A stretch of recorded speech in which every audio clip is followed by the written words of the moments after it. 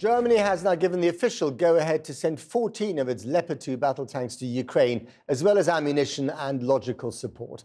Germany said that Ukrainian troops would shortly begin training to use the vehicles, while partner nations will also get the permission to re export their Leopard tanks as well. The US is also due to announce it'll send at least 30 of its M1 Abrams battle tanks to Ukraine.